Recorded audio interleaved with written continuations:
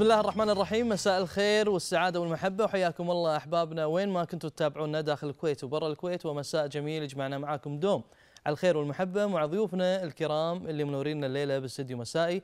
وننطلق معاكم عبر شاشة الجميع تلفزيون الرأي.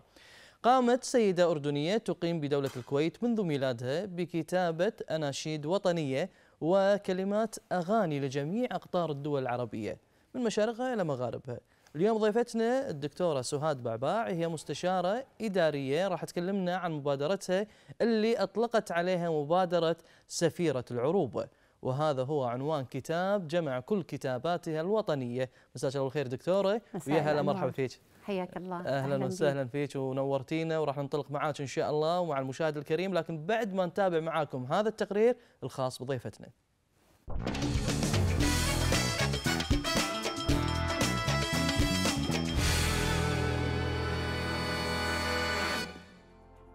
في مبادرة وطنية من سيدة جاءت من وسط جموع الشعب العربي. قامت الدكتورة سهاد بعباع بكتابة أناشيد وطنية وكلمات أغاني وبطاقات تهنئة لكافة البلدان العربية. أولى كتاباتها كانت رسالة للكويت في العيد الوطني الخمسين وقد قامت بإنتاجها. وفي عام 2016 وبمناسبة الذكرى المئوية للثورة العربية الكبرى وكذلك بمناسبة العيد السبعين لاستقلال المملكة الأردنية الهاشمية وانطلقت بعد ذلك مسيرة الإهداءات لباقي بلدان الوطن العربي وراحت تتنقل من سفارة لأخرى لتنقل أرقى مشاعر الحب والتسامح والسلام.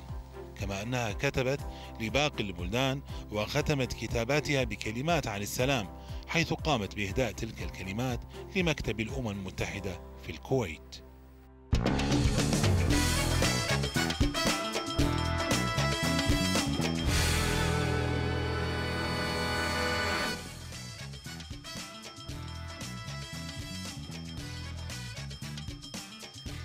مساء الخير دكتورة مرة ثانية وقواتش الله وبارك الله فيك وبارك الله بجهودك. وبالبداية ودنا نتعرف على يعني آه، آه، أول أعمالك الأدبية والفنية كانت عن الكويت. طبعا. تحديدا.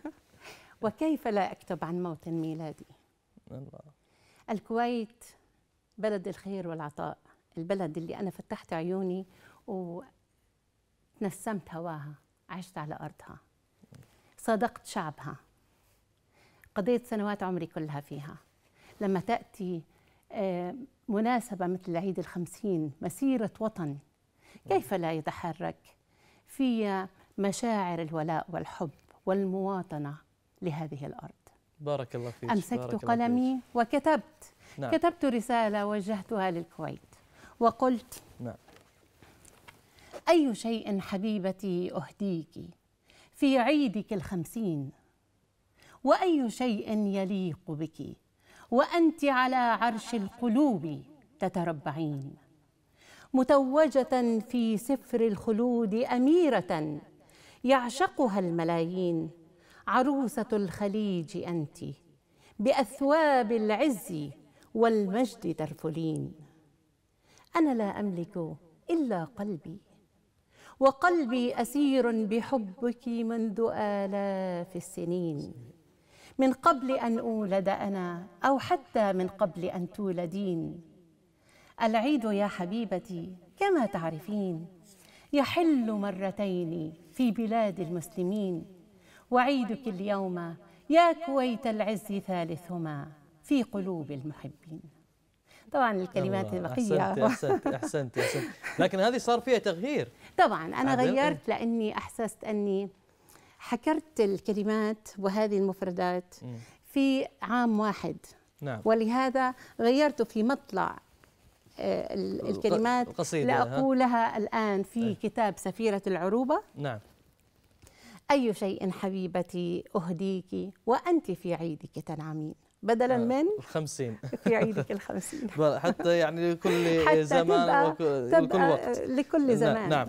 آه، يعني في 2016 استأنفتي الكتابة لكن آه، تجاوزتي هذه الكتابة لتقديمها كإهداءات إلى سفارات الدول العربية مو أي إهداء بسيط كروت أو كتاب غير صحيح. بل من خلال لوحات. نعم. شلون جاتك هذه الفكرة والسفارات اللي تواصلتي معها بداية فكرة أن أتواصل في عام 2016 تحديدا. وإن كنت قد بدأت في الكتابات الوطنية. ولكن 2016 كانت آه، مميزة لأنها صادفت مئوية ذكرى الثورة العربية الكبرى نعم. العيد السبعين لموطني الأردن نعم. جاءت بعد سنوات من اللا استقرار في المنطقة العربية في الكويت شهدنا أحداث نعم. إرهابية وأحداث المسجد وكيف تساقطت نعم. قتلى أبرياء في المساجد في الأمة العربية كانت هناك تقلبات حتى وصلت هذه الضربات لموطني نعم. من خلال الخلايا الإرهابية. ووجدت نفسي أتحرك فقلت بداية أنا أردني وأفتخر. وهذه الكلمات أهديتها ولا تزال في مدخل ديوانية سفارة الأردن في الكويت نعم. لأي زائر. جميل. وبعدها كتبت للثورة العربية الكبرى ولعيد الاستقلال ولعيد الجلوس الملكي. نعم. واستأنفت الكتابة استأنفت بأن أكتب لباقي دول الوطن العربي نعم, نعم. من كان بعد الكويت الأردن آه، بعد نعم. الكويت كانت كتبت الأردن كتبت لفلسطين نعم، كتبت نعم. للجزائر وكتبت لكل البلدان ورحت أكتب زمنيا بحسب المناسبات نعم. يعني أعيادهم كان هناك أيوة نعم. في كتاباتي انتقلت من سفارة لأخرى وقابلت معظم السفراء للأمانة لم أقابلهم جميعا نعم. قابلت الأغلبية العظمى منهم وربما ما كان يميزني في هذه المبادرة كما أشرت حضرتك أن لم أقدمها في مجرد أوراق أو. درع أو كتيب أو نعم. غيره لا أنا قدمتها كجدارية باتت تزين حتى احتفالاتهم الوطنية وهذا كان يثلج صدري يعني يعني احتفظوا فيها بالمداخل الموجودة وعارضينها لو لو نعم. قمتم نعم. بزيارة لمعظم سفارات الدول العربية ستجدون هذه الكلمات جميل. بل في الاحتفالات الوطنية أحيانا حين أدخل الاحتفال مدعوه كضيفة شرف من نعم. قبل السفارات آه، أجد تعليق من سعادة السفير الفلاني مثلا يقول كلماتك في المدخل كلماتك جميل جميل لماذا لماذا هذا الصمت الطويل يعني لعام 2016 وين هذه الأفكار قبل؟ وين هذه القصائد قبل؟ يعني وين كنتي؟ كتبت في مجالات أخرى نعم ولكن أحيانا تختمر الأفكار صح. يعني تتأجج فيك مشاعر وفجأة تمسك بقلمك وهذا القلم هو تعبير عما يجول في صدرك صحيح. آه لفترة زمنية كنت أكتب ولكن لم لم أنشر لكني وجدت أنني أستطيع أن أنقل أفكاري وأن أوجه رسالة حب. وأنا يا سيدي لا أتقن الرسم ولكني استطعت أن أتعلم كيف أرسم الكلمات الحب في حروف وكلمات صادقة برسالة عشق لوطني العربي الكبير. الله. لأقدمها لسفراء الدول العربية نعم. ولأسمعها لكل الأمة العربية.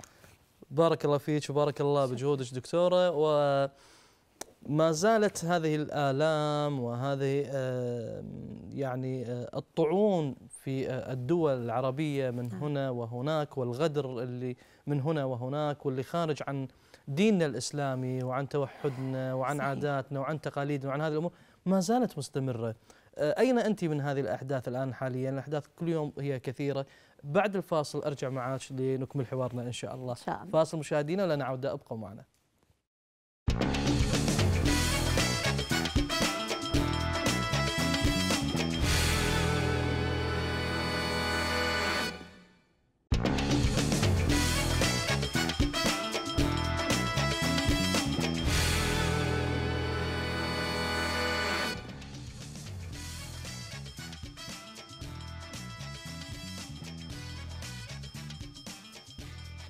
دكتورة سهاد بعباع يعني الأحداث العربية هي كثيرة والوطن العربي نوعا ما يئن نعم. وأكثر قضية اللي تؤلمنا الأمانة وتؤلم الجميع وهي قضية فلسطين نعم. واللي فعلا آه، الكل الناس بمختلف مشاربها وأفكارها وتوجهاتها كلهم ما يختلفون على هذه القضية ويجب أن تتحرر فلسطين نعم والموقف الكويتي يعني لا نعم، يغيب عن عن عن, عن الكل. في في في, في هذه ننكر. وحضرتك يعني أكمل لحضرتك حضرتك أردنية ولكن نعم. أصول فلسطينية أصول فلسطينية ف- جذوري تمتد إلى مدينة طول كرم بفلسطين نعم في هذه القضية تحديدا أيضا رأيك أو ماذا قلتي في هذا الشأن آه، سواء الموقف الكويتي الأخير أو حتى فلسطين يعني أنا ما أقدر أقول أنت شنو قلت. أنت خير من يعبر عن هذه القضية.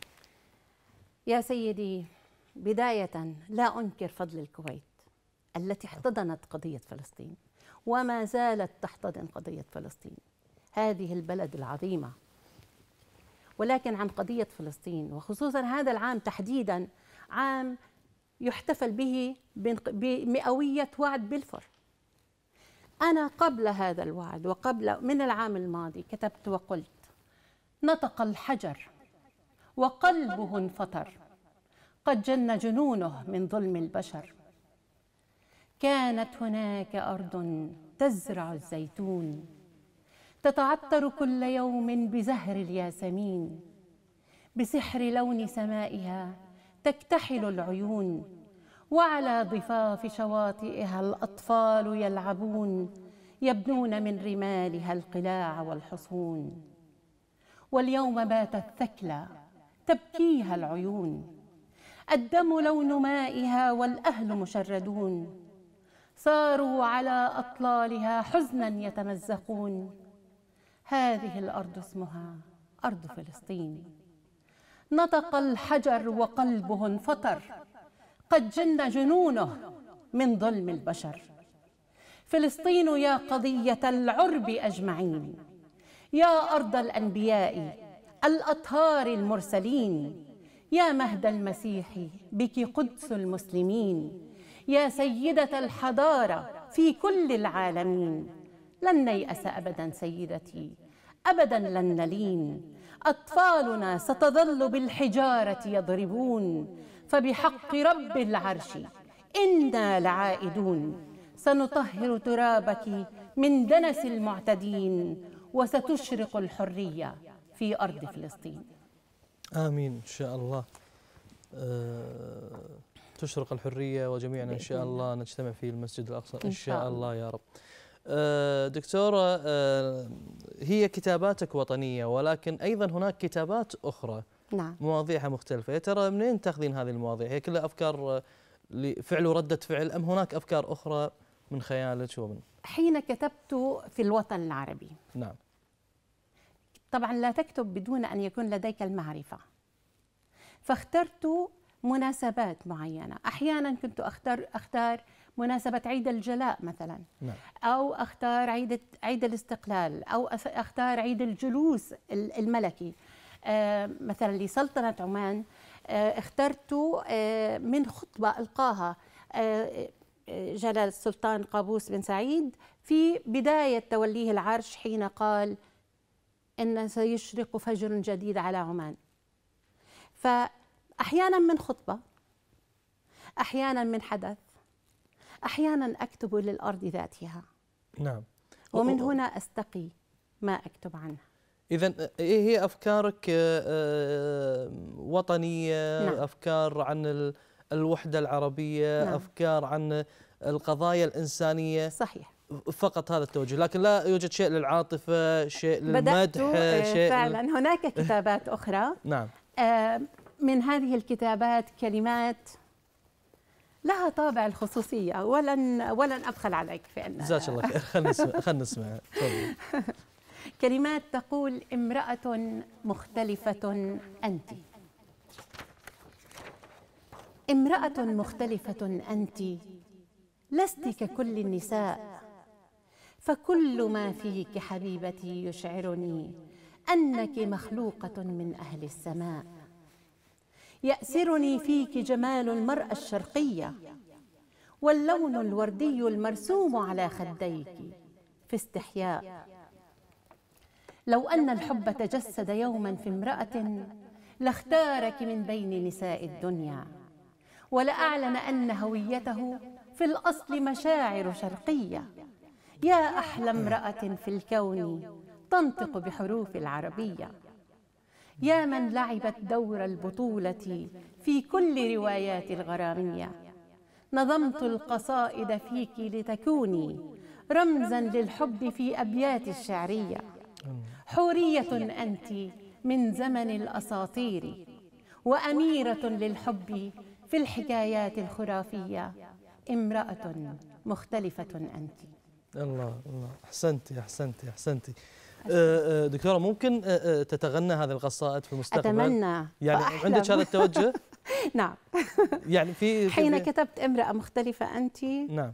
ربما كان كان في خيالي أن يتم غناء هذه الكلمات وأتمنى فعلا أن آه، أسمعها ذات يوم أغنية كما سمعت كلمات نزار قباني مغنى أيضا. نعم. آه، عندك آه، مطربين معينين في بالك أو أي احد ممكن يغنيها ويؤديها؟ آم، من من يستطيع أن يؤديها.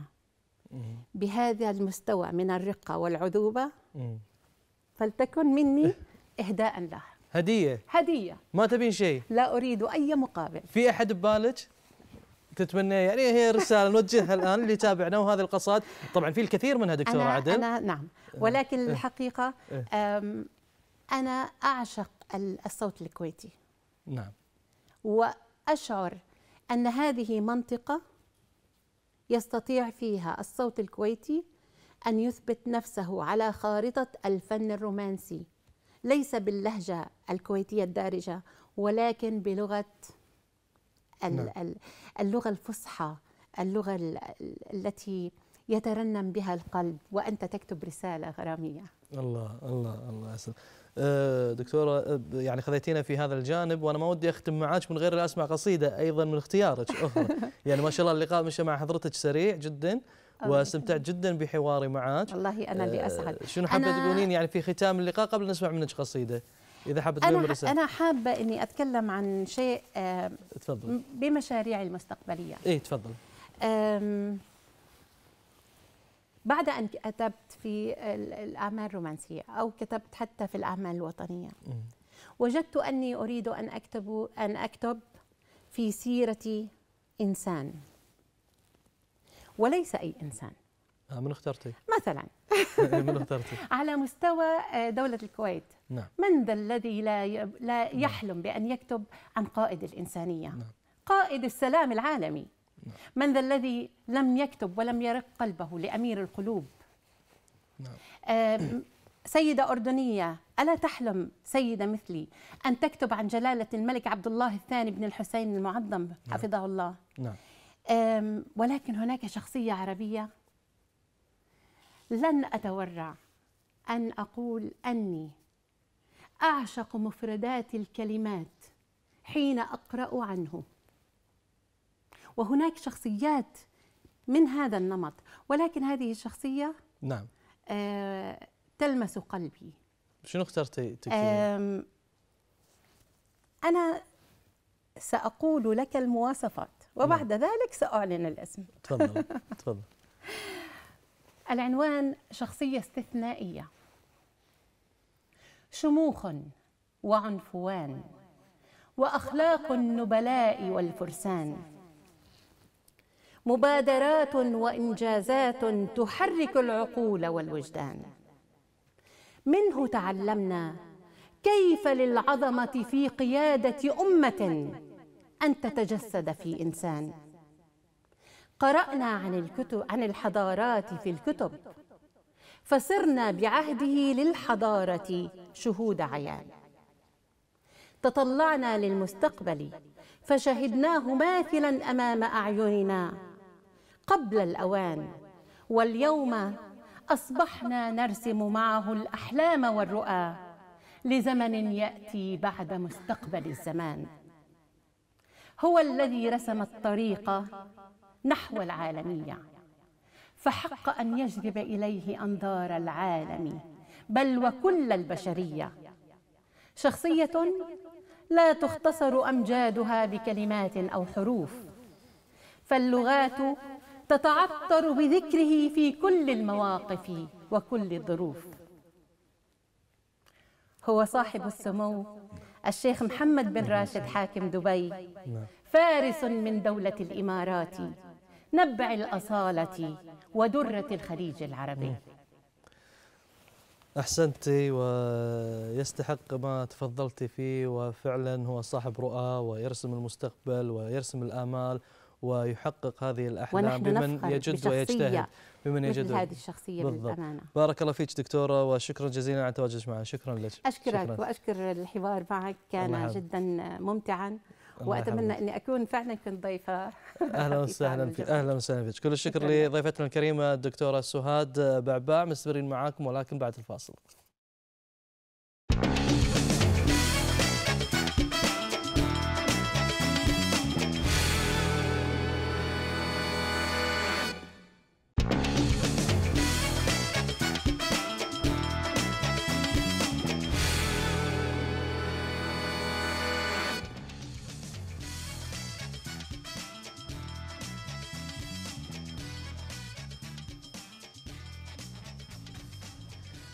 مشاهدينا ازدادت خلال السنوات الأخيرة نسبة إجراء عمليات التجميل بمختلف أنواعها.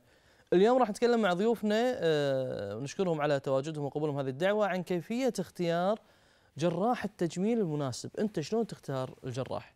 يا عمي أنا رجل عام أنا عرفني هذا الجراح زين ولا مو زين؟ لا في معايير معينة أنت يجب أنك أنت تعرف هذه المعايير في هذا الدكتور الجراح اللي أنت رايح له. وشنو الفرق بين جراح السمنة وجراح التجميل وغيرهم من هذه الأمور المرتبطة بالناس اليوم اللي مهتمة واللي عندهم هوس في هذا الموضوع وهذه القضية وهي قضية التجميل اليوم. الكل يقرأ ويمكن يروح يقعد يتناقش مع الدكتور بعد. زين دكتور ها صار سنوات دنيا دراسة وبحث وغيره. لا هو يجادل ما يناقش في هذه القضية. راح نتطرق إلى مواضيع مختلفة إن شاء الله مع ضيوفنا. بداية نرحب بالدكتور محمد عبد الكريم وهو اختصاصي جراحة ترميم وتجميل بمركز سعود البابطين. مساء الخير دكتور. مساء النور. حياك الله. هلا مرحبا فيك. يا هلا مرحبا وأيضا نرحب بالدكتور حسن مسيب عزيز وهو اختصاصي جراحه ترميم وتجميل بمركز سعود البابطين. مساء الخير دكتور. مساك الله بالنور. يا هلا مرحبا فيكم حياكم الله. الله. واعتقد إن هذا صار هوس عند الناس اليوم عدل؟ ها عدل دكتور؟ عدل. صار الكل مهتم بعالم التجميل. اي هذا هو الحين الدارج بين الناس يعني إن أغلب الناس يسألون عن عن التجميل وغيره. اي صحيح. وهذا وهذه الأمور. صحيح. لكن آه، فعلا يوصلون لدرجة الجدال في هذا إي نعم إي نعم. طبعا بوجود وسائل وسائل التواصل التواصل الاجتماعي ووجود مثلا المحركات اللي موجودة في الإنترنت مثل جوجل وغيرها تقدر تكتب أي شيء وتطلع لك معلومات. صحيح. يعني. كثير كثيرة إيه. كثيرة خلينا نقول. طبعا مو كلها صحيح ولا كلها خطأ بس انه منو اللي يقدر يحدد الصح من الخطأ؟ مو المريض الطبيب طبعا. بالضبط. إيه. في ناس تجاربها قاعد تتكلم عن تجربته الشخصية. إي نعم في صح. هذه العملية وغيره. وكذا. لكن خلينا نرجع معاكم مع البدايات. شلون اخترت أول شيء هذا المجال دكتور؟ والله بداية آه، خلصت آه، أنا والدكتور حسن خلصنا الطب من إيرلندا. نعم. بعدها رجعنا الكويت كملنا سوينا آه، سنة التدريب.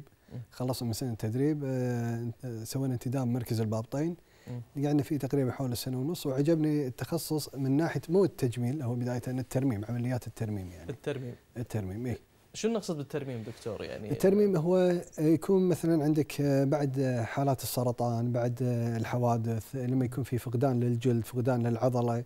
فأنت شنو ال- العمليات اللي تجريها لترميم هذه المنطقة؟ على أساس تغطي الجروح لمنع أي التهابات يعني. نعم. وغير هذا من العمليات الترميمية التجميلية اللي تعتبر مثلا آه، عمليات بعد استئصال سرطان آه، الثدي. نعم. آه، نقوم إحنا بدورنا. آه، يتم الاستئصال من ط- آه، عن طريق الجراح العام.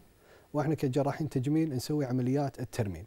تكون عن في كذا طريقة إما عن طريق حشوات السيليكون أو عن طريق آه، الأنسجة من الظهر أو من البطن وهم في عن طريق الجراحه الميكروسكوبية. ونسبة الرضا لدى الشخص المعالج دكتور؟ يعني توصل بعد لنسبه مقنعة نفسيا نوعا ما. بعد ترميم سرطان الثدي. نعم مثلا. هو في دراسات آه، على سرطان الثدي. إذا تم الترميم مباشرة بعد الاستئصال نسبة آه، رضا المريض المريضة يكون آه، نازل. بس إذا تم الترميم بعد فترة من الاستئصال المريض يكون حيل راضي عن النتيجة. يعني هذا وفق دراسات هذه دراسات إيه جيد. اثبتت شيء يعني. دكتور خلينا نرجع حق البدايات نعم يعني اختيارك لهذا طبعا العالم طبعا مثل ما تفضل زميلي الدكتور محمد نعم. آه بعد ما خلصنا من كلية الطب في إيرلندا رجعنا هنا الكويت اشتغلنا فترة التدريب زين شفنا إن إحنا يعني اتجاهنا للجراحة أكثر من التخصصات الثانية أنا أنا عن نفسي يعني حاولت إن أجرب في جراحة الأطفال، جراحة الأوعية، جراحة المسالك، أشوف نفسي وين وين, وين نعم. موجود. آه طبعا اتجهت إلى جراحة التجميل لأكثر من سبب. الشيء اللي معظم الناس ما يعرفونه عن تخصصنا إحنا إحنا تخصصنا دائما ينقسم إلى خمس أقسام وليس قسم واحد. هي عبارة عن جراحات الحروق ورعاية الحروق، جراحات الترميم اللي هي تسمى الجراحات البنائية نعم. وجراحات الميكروسكوبية اللي هي تحتاج خبرة كبيرة وساعات طويلة تحت الميكروسكوب على أساس توصل أنسجة ببعض والجراحات اليد جراحات اليد يعني نعم. هم هذا من يعتبر من تخصصنا وجراحات التجميل. اليد تخصص بروحه دكتور؟ إي نعم. بس حق نعم. اليد؟ إي نعم. فإحنا دائما يعني يكون في نقطة تواصل بيننا وبين جراحين العظام إن هم يصلحون العظم وإحنا نصلح الجلد والعضلات اللي تغطي العظم. مم. أساس كذي إن الوحدة هذه تكون دائما بيننا في تعاون بيننا وبين آه، جراحين اليد اللي موجودين في نعم. قسم العظام. الحين المرحلة هذه دكتور أنتم لكم علاقة بالجانب النفسي أيضا؟ أم تجري العملية ودكتور آخر يختص بالجانب النفسي قبل العملية وبعد العملية؟ طبعا هذا موضوع إحنا كنا راح نتكلم فيه يعني إن شاء الله عن, أه، عن راح طريق أوزع إيه بينك إيه وبين عن. طريق يعني إحنا دائما نختار المرضى مالتنا مو أي مريض يجينا يقول أنا بسوي العملية هذا نقول له إن شاء الله وتعال حياك الله. إحنا من واقع خبرتنا من واقع احتكاكنا مع الناس سواء داخل المستشفى برا المستشفى. إحنا اثنين متخصصين برا الكويت فشفنا ناس برا الكويت في مراكز كثيرة فيها مؤهلين نفسيين قبل العملية وبعد العملية خاصة حق عمليات الترميم اللي انت النتيجة مالتك مثل ما تقول راح تكون هي ترقيع أكثر من إنها يعني تجميل. نعم. لأنك أنت تبي تغطي منطقة فقدها الجسم. نعم. زين عن طريق استئصال آه، ورم أو إعادة بناء المنطقة هذه عن طريق نقل أنسجة كاملة سواء ساعات تكون يعني عضلات مع مع الجلد مع الشحم كامل ينقل من منطقة إلى منطقة ثانية عشان نفس نفس عشان الجسم؟ تغطي إي نعم من نفس عشان الجسم، تغطي نفس المنطقة. هذه.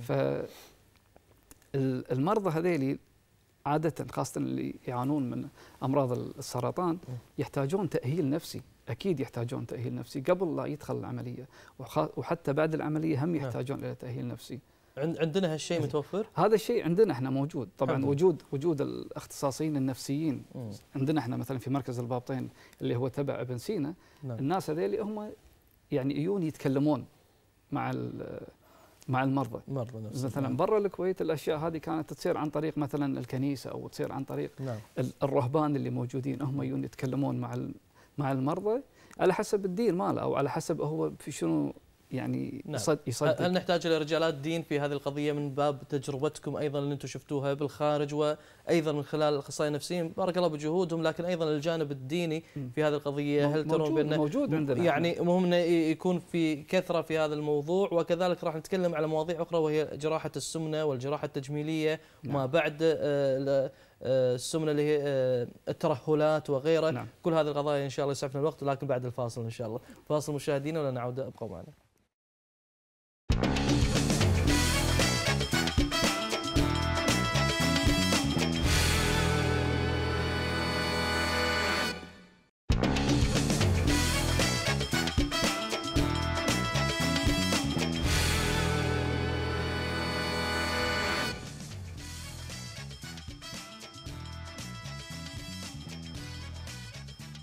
دكتور محمد يعني شرح لنا دكتور حسن إن الجانب النفسي مهم والجانب الديني متوفر أيضا موجود عدل؟ صحيح صحيح. موجودين يعني رجال دين بارك الله فيهم قاعد يقومون بدورهم. اي ما يقصرون صراحة. ممتاز. يفيدون المرضى خاصة مرضى السرطان هم اللي يحتاجون آه، دعم من رجال الدين.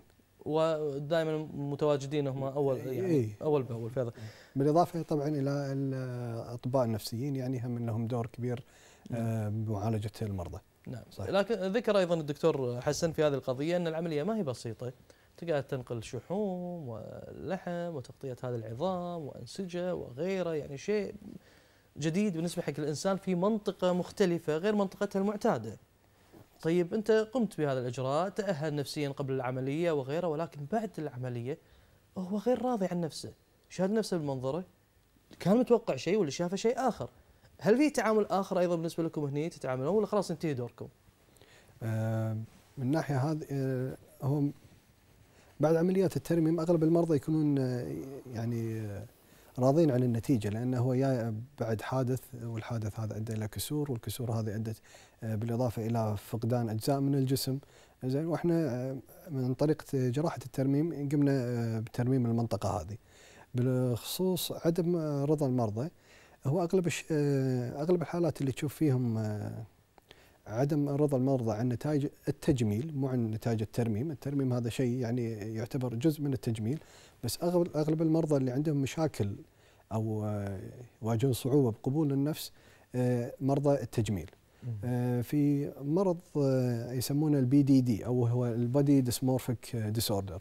المرضى هذول اللي يعانون منه إنه لما يشوف روحه بالمنظرة يشوف عيب بسيط جدا يعني. وبعض المرات هذا العيب هم يكون مو مو موجود بس هو يتخيل إن هذا عيب. فيلجا إلى جراح التجميل. خاصه المرضى هذول اللي عندهم آه، النوع آه، هذا من آه، هذا المرء يكبر من السالفة يعني وهي إيه، شغلة بسيطة. شيء هو شيء بسيط يعملوا ما الحبه إيه. على قولتهم. إيه. فتشوفه دائما يلجأ إلى دكتور التجميل. ينتقل من جراح إلى جراح ثاني. فتشوفه دائما مسوي فوق العشر عمليات. وغير راضي عن النتيجة النهائية ليش. يسوي الدكتور ف- العملية؟ المفروض الدكتور يقول له خلاص أوقف ما راح أسوي. هذا هو في هم في. كويستشنير نعم أو مجموعة أسئلة تقدر تسألها المريض موجودة على ورقة تعطيها حق المريض. تسأله الأسئلة هذا فأنت تقدر تحدد أو يعني تقدر تعزل الناس اللي ما عندهم المرض هذا. آه، فعلى أساس الكويستشنير هذا تقدر آه، تتأكد المريض هذا بالفعل يعني عنده مرض نفسي ولا لا يعني ها يبين إيه. ها- هو. لا أعراض. طبعا أعراض إنه آه، كثير ناس يزورونكم ويكبرون من هالسوالف يعني والله لا.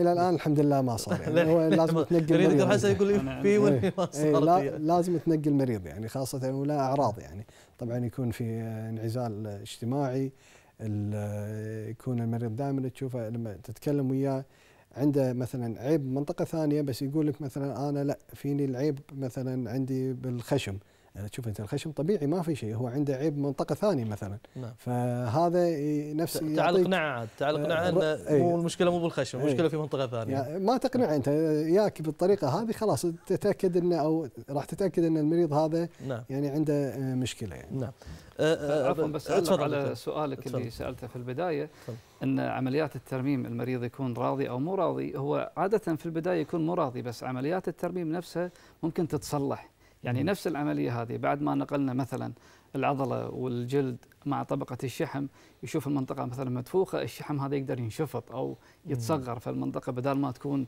بالطريقة هذه تصير تصير. متساوية مع الجسم بس تتصلح على مراحل. بس الدكتور أكيد إنه عارف من البداية إنه يضعها بأجمل صورة. يعني بأ- يعني بالتقنيات وال والقدرة اللي يقدر عليها وفق المقاييس الطبية. إي بالضبط. يعني هذا الحد الاقصى. مستحيل ان الدكتور يحط له شغلة صح أنا هذا الكلام أقبله منك بس لما أنا أقول لك أنا ضيعت هالكثر سنين من عمري زين وتعلمنا إن كل شيء لما تنقله من مكان لمكان راح يضمر مع الوقت. بعد ها الوقت بعد ما قصدك. بعدين إي. سواء العضلة راح تصغر. الدهون راح تكش. الجلد راح ينكمش هني مكانه. يعاد ترميم. على أساس كذي انت إيه. تنطر عليه فترة لين يوصل للحجم اللي خلاص ما راح يصغر أكثر من كذي إذا احتاج يتصلح يتصلح بعدين نعم هني الناس حتى لا تعتقد إنه بعد العملية مباشرة لأن نعدل. مرة ثانية تقعد عادة تنطر ست أشهر إلى سنة على أساس تسوي آه، تصلح نعم. عملية الترميم جميل آه، أغلب مشاكل تكون عند الأطفال يعني أو الصعوبات أكثر شيء عند الأطفال ولا عند الكبار؟ آه، طبعا. طبعا يعتمد على شنو قاعد تتكلم أنت الأطفال عادة لما يجون عندنا يجون بأشياء معينة زين الطفل لما يجينا طبعا هي عن طريق أبوه أو أمه هم اللي جايبينه مو هو اللي جاي يطلب المساعدة اللي مطلوبة فعادة تنقسم الحالات إلى قسمين مشاكل في في الوجه آه، نعم. والرأس ومشاكل في الجسم أقصد أن الطفل يعني لما يكبر بالعمر راح يتغير هذا الجسم في مرحلة نمو فتكون. صعوبة العمليات يعني والتغييرات مستمرة مع الطفل أكثر شيء صعوبته مع الكبار هذا اللي كنت أقصده يعني. طبعا هو أكيد ال- الطفل راح يكبر. ال- البالغ راح يثبت حجم جسمه عند عند يعني وقت معين. فخلاص ما راح يكبر زيادة. فتقول مثلا الجلد اللي أنت زرعته حق الطفل نعم. طول ما هو يكبر الجلد هذا راح يتمدد وياه. ونسبة الانكماش مالته راح تزيد وياه كل ما نعم. يكبر. نعم. أما ال- ال- البالغ خلاص أنت تحط له مثلا الزراعة توصل إلى مرحلة معينة وخلاص لأنه ما راح يكبر زيادة. نعم. آه، أنتم اليوم فرصة جميلة موجودين معي لكن الوقت يعني للأسف مو جميل. آه، آه، بس بقفز من نقطة إلى نقطة يعني بشكل بشكل سريع. دكتور محمد يعني أكثر العمليات شيوعا بالكويت اليوم؟ هي عمليات الشد بعد عمليات الس- السمنة التكميم مثلا آه، تحويل المسار أو البالون يعني. أغلب المرضى اللي يشتكون منه الترهلات اللي تصير بعد العملية هذه. خاصة نبدأ من فوق مثلا الوجه زين عندك آه، الثدي عندك البطن والمؤخرة وعندك الأفخاذ. فهذه هي المناطق اللي عاده تحتاج آه، عملية بعد عمليات آه، التكميم. بعد خاصة- تكميم إيه، هذا تصير بوقت واحد دكتور ولا هذه لا تسويها على مراحل لأن بخوف وخوفا على المريض لأن العمليات هذه تعتبر عمليات كبيرة فنسبة فقدان الدم تكون وايد. إذا سويت أكثر من آه، يعني عمليتين أو ثلاث بنفس الوقت فهذه لا فيها خطورة على المريض.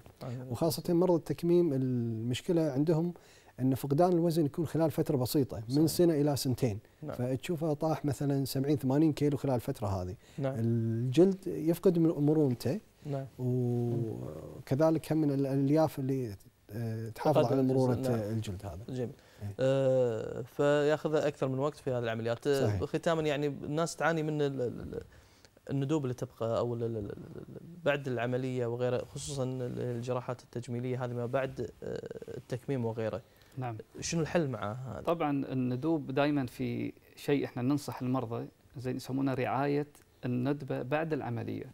زين إحنا نحب إن المريض يتثقف بالشيء هذا.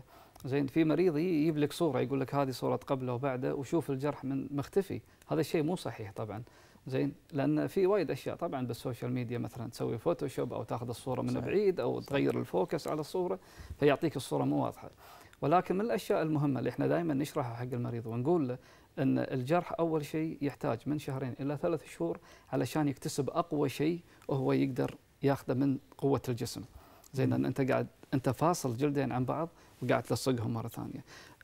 عملية التحام ال- ال- الجلد هذا مع الجلد هذا يحتاج من شهرين إلى ثلاث شهور علشان يوصل إلى أقوى شيء وأقوى شيء ما راح يكون 100% راح يكون من 60 إلى 80% لما توصل للمرحلة هذه خلاص تقدر تبدي أنت تعالج الندبة اللي آه، طلعت من الجرح هذا. نعم. عن طريق أكثر من شيء عن طريق المساج عن طريق شرائح السيليكون كريمات ليزر إلى. آخره. نعم. بارك الله فيكم. سعد جدا بلقائي معكم آه، وكنت أتمنى إن شاء الله آه، ولكن إن شاء الله آه، في حلقات قادمة نلتقي معاكم ونتكلم بشكل أشمل. وأوسع وأكثر نقاط كثيرة. دكتور محمد عبد الكريم اختصاصي جراحه ترميم وتجميل بمركز سعود البابطين شكرا جزيلا لك. والشكر. موصول لك الدكتور حسن آه، مسيب عزيز. اختصاصي جراحه ترميم وتجميل بمركز سعود البابطين شكرا جزيلا لك. العفو. كل الشكر ضيوف الكرام والشكر موصول لكم مشاهدينا على المتابعة. تقبلوا تحياتي وتحيات فريق العمل. كنت معكم راشد حسن. تصبحون على أمن وأمان صحب الأبدان. إلى اللقاء.